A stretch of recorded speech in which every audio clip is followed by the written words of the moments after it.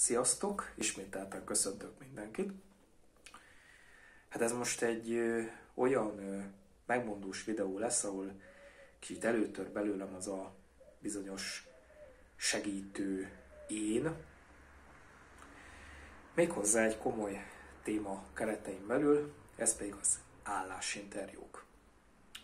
Na most tudom, ö, jelenleg a járvány úgy alakította ezt az egészet, hogy már szinte minden online működik. De még azért vannak olyan helyek, ahol lehet találkozni a hagyományos formában levő állásinterjúval. De mondjuk úgy, hogy a kettő nem nagyon különbözik egymástól, legalábbis maga az interjú része. Most itt néhány tanácsot fogok adni, amikhez azért fűznék néhány megjegyzést így rögtön a videó elején.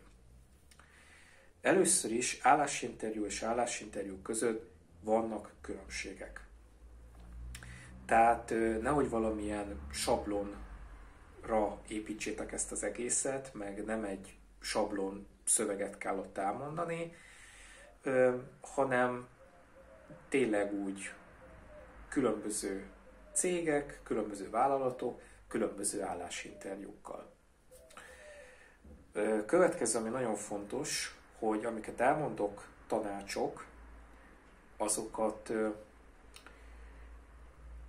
nem kell vakon megfogalni. Tehát nehogy valaki jó, jó, mert a, mert a Pedro azt mondta, hogy én amit elmondok, azok általában ö, tapasztalatokból jött tanácsok, vagy hogy én hogyan látom ezeket. Akkor szerintem kezdjük is el. A tételezzük fel, hogy megtörtént a jelentkezés, és azt mondják, hogy behívnak állásinterjúra. Megvan az időpont, sikerült egyeztetni, és akkor eljön a nagy nap. Hát az első, és szerintem az egyik legfontosabb része ennek a állásinterjúnak az öltözködés. Na most én azt szoktam mondani mind az uraknak, mind a hölgyeknek, hogy úgy kell felöltözni, mintha érettségizni mennél. Tehát ez azt jelenti, hogy hölgyeknek mondjuk akár lehet egy ilyen térdigérő szoknya, magas sarkú cipővel, fehér blúzzal, de természetesen lehet egy hosszabb nadrággal, szintén blúzzal, fehér blúzzal kiegészítve, és mondjuk egy ö, ilyen kicsit elegánsabb ö, öltözet. Uraknak azt szoktam javasolni, ott is egy elegáns cipő, öltöny, és mondjuk hozzá zakó, nyakkendő. Na most mind a két nemnél nagyon fontos, hogy ápoltan, tisztán, normálisan kell kinézni. Tehát tiszta legyen a köröm, tiszta legyen a ruha, tiszta legyen az arc, tiszta legyen a haj, és hogy tényleg normálisan, rendesen kell kinézni. Tételezzük fel, ez megvan. Akkor következő, hogy hogyan menjünk oda. Hogy hogyan fogsz oda menni. Hát ugye ilyenkor jól meg kell tervezni az utat. Akár saját autóval megy valaki, akár tömegközlekedéssel megy valaki, tényleg az idővel számolni kell, hogy mennyi idő az odaút. Na most nagyon fontos és lényeges az, hogy ha véletlenül olyan történik, hogy késni fogsz, mert bármi közbe jöhet. Lerobbant az autó, forgalmi dugóba kerültél, késik a busz, késik a vonat, bármi, akkor ilyenkor fontos, hogy fel kell hívni a cégnek a HRS-ét, vagy azt, aki közvetlenül majd interjúztatni fog, vagy bárkit, hogy értesítse XY hölgyet, urat, hogy késni fogok, mert ez meg ez történt. Megint csak tételezzük fel, hogy megérkeztél, és mondjuk kedvesen fogadnak. Akkor általában az interjú az egy irodában zajlik. Általában a, a vezetőségnek valamilyen, valamilyen szépen berendezett irodájában. Most ilyenkor szokták azt mondani, hogy mondjuk megkínálnak egy pohár vízzel, vagy egy pohár üdítővel. Na most ö, én azt szoktam javasolni, hogy ezt fogadjátok el. Ugyanis ez egy alapvető kedvesség, és hogyha ezt ti elfogadjátok, az, az már mindenképpen egy jó benyomást tud kelteni az interjúztatóban vagy interjúztatókban, hogyha esetleg ö, több ember van ott. Akkor ö, szokott lenni egy olyan ö, megjegyzés, vagy olyan ö, mondjuk olyan mondat, hogy na mondjuk akkor nyugodtan mehet a tegeződés. Ö, most bármennyire is furcsa hangzik most, amit mondok, hogy ez egy kódolt parancs. Tehát amikor ö, azt mondja valaki, hogy nyugodtan tegezd egy állásinterjún, akkor tegezned kell. Mert utána még magázod, az bizony egy elég nagy bunkóság. Tehát felajánlja, azt mondod, hogy köszönöm, és tegezheted. Akkor a, az állásinterjú az általában az alábbi módon szokott kinézni. Aki interjúztat, ez lehet a cég vezetője, HRS, vagy bárki, vagy, egy, vagy a főnöknek a helyettese, bárki. Előveszi az, a, az életrajzodat, és azt megnézi. Megint csak, nyilván már a jelentkezéskor megnézik, és nyilván ö, már azért tudnak rólad ö, sok mindent, de mégis azt mondja neked, hogy mesélj magadról.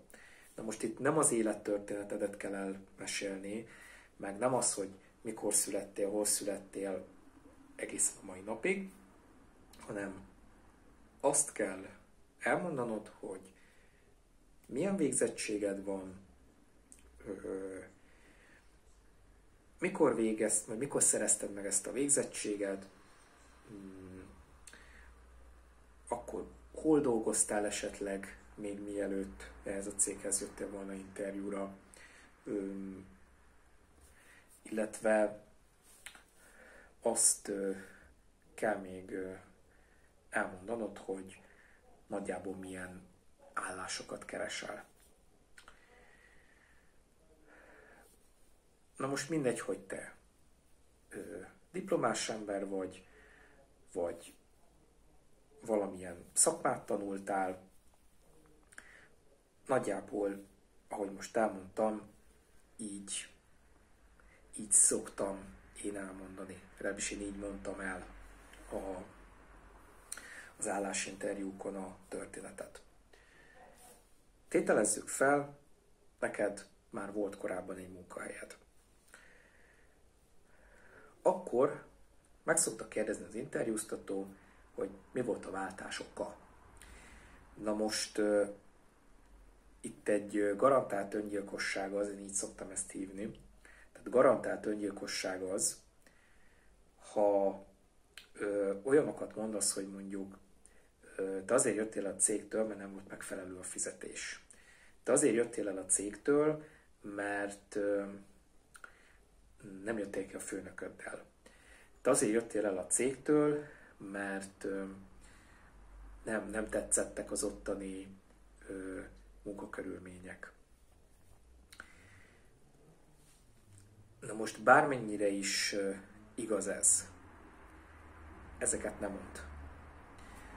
Ugyanis, hogyha ilyeneket mondasz, hogy te nem jöttél ki a főnököddel, vagy nem tetszett a fizetés, akkor az hát azt jelent, akkor az azt a benyomást keltheti az interjúztatóban, hogy hát te nem veszed ezt az egészet elég komolyan. Vagy nem, nem igazán akarsz úgy elhelyezkedni, úgy sehol se. Tehát, hogy neked nem fontos a munka, amit csinálsz, vagy amit csinálni fogsz. Ilyenkor én azt szoktam mondani, hogy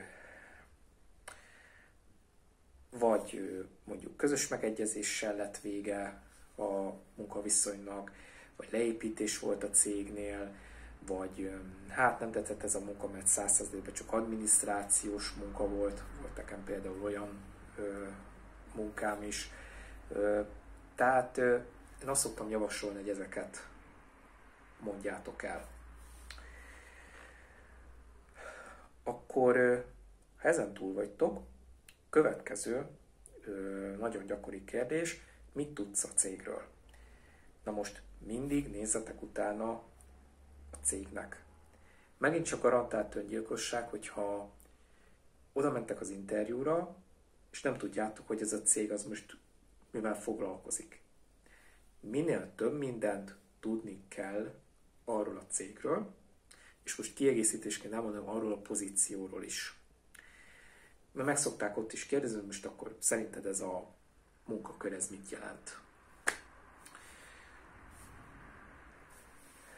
Most tételezzük fel, hogy sok mindent tudsz a cégről, sok mindent tudsz a pozícióról. Ezen is túl vagytok.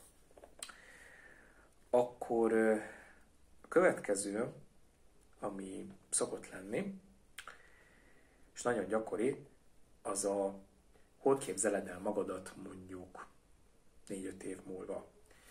Akkor itt, akkor itt megint csak nagyon fontos, és erre is azt szoktam mondani, hogy garantált öngyilkosság, hogyha te azt mondod, hogy mondjuk ilyen úgy tervezed, hogy csak mondjuk olyan egy-két évet dolgoznál a cégnél.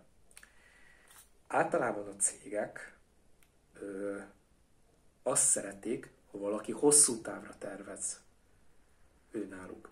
Tehát hosszú távon fogod dolgozni, és majd valamit elér, vagy valameddig eljut. Tehát ilyenkor azt kell elmondani, hogy sok tapasztalatot akarok gyűjteni, megfelelő fizetés ahhoz képest, és mondjuk ide meg ide ebbe a pozícióba akarok eljutni. Na most, ha ez, ezt így elmondod, akkor ezt általában ö, szokták szeretni a,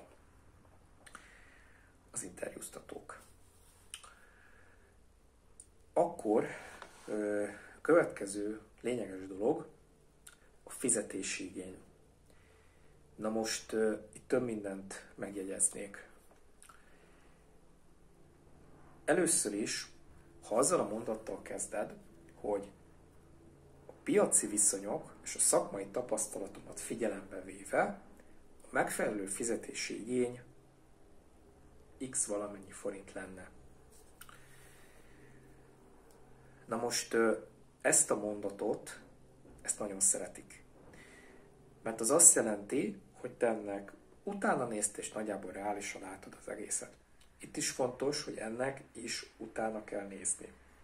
Hogy most akkor a piaci viszonyok, meg, a, meg ez a pozíció, szakmai tapasztalat, hogy mennyi fizetésre vagy jogosult. Ez nagyon fontos. Következő megjegyzés,